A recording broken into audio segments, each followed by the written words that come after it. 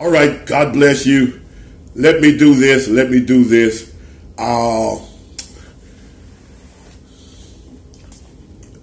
there is a a new. Well, I don't know how new it is, but the Bible speaks about doctrines of devils.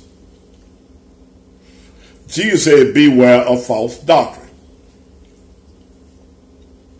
The Bible says, if they bring you any other gospel, let him be a curse. The Bible says they don't bring this doctrine, don't let him in your house, neither bid him Godspeed. For he that bid him Godspeed is a partaker of his evil deeds. The Bible says, withdraw yourself from every brother that walk contrary to the doctrine.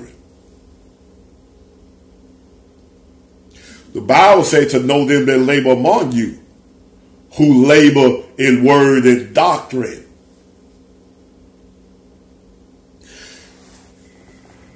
This is my second time. I've heard this statement twice. I heard it once from a brother at our church.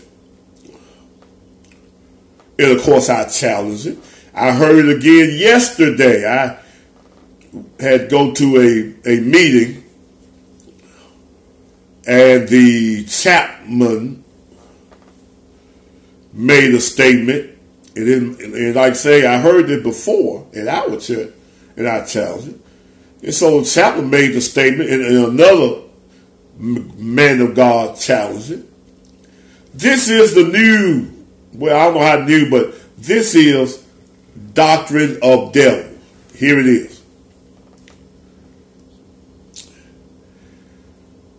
This doctrine says the Bible do not mean what it say. That's what this doctrine of devils say.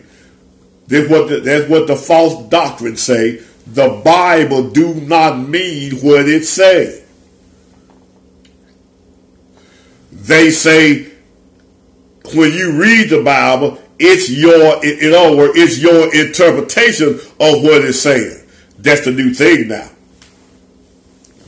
Let me give you an example. Let me turn to Romans.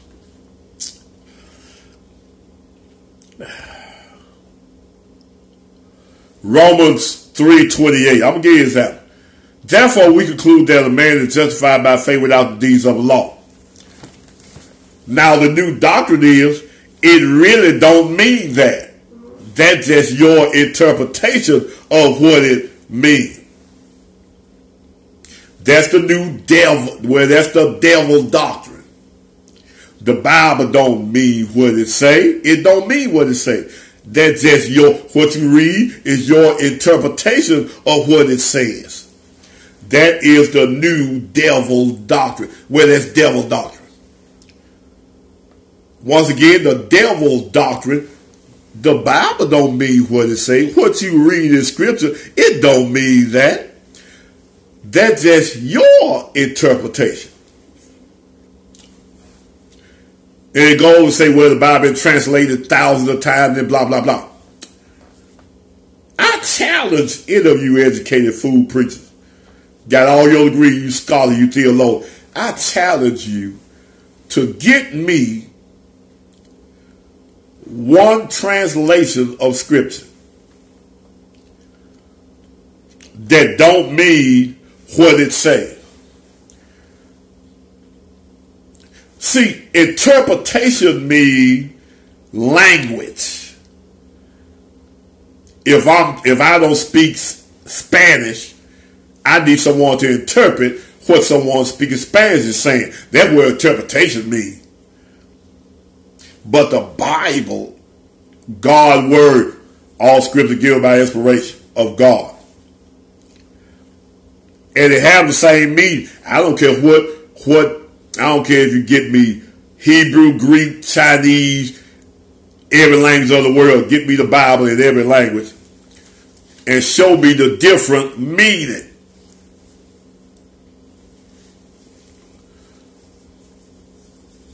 Show it to me. Where the original take the Hebrew and Aramaic. Get me the Hebrew in Aramaic or any other version you want to get. Get it and show it to me. And show me it got a different meaning from what's wrote. Show it to me. Yeah, I know the gay Bible got a different meaning because they done took from what I know about the gay Bible. I know about the Catholic that add to scripture. Wait a minute, the Bible says, don't add, don't take away. Even in the Old Testament, don't add, nor take away.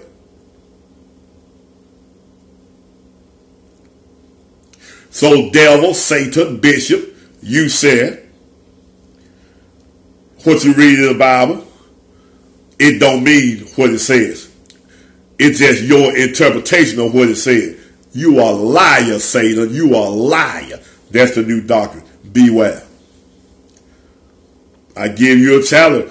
Get me in the scripture. Get me in translate you want to get me and show me a God different meaning. The Bible means what it say. Then they say you can't take the Bible literally. That's the other Satan. That's Satan talking. Cause he said what the Bible say, if you if your eye finger you pluck it out, it cuts a hand off. Do you cut the hand off? Well, you read that script and see what it talk about.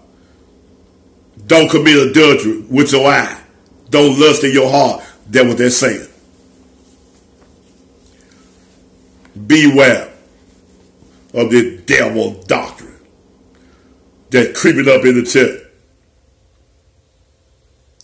Beware. And yeah, the will put down everything else.